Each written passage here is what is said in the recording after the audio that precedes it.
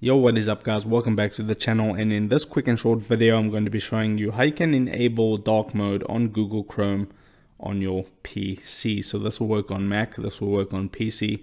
So you just want to open up Google Chrome. Once that has loaded up onto the Google homepage, you want to go to the bottom here. So you can see it says privacy, then terms, and then settings. Click on settings, and then you'll see all this information.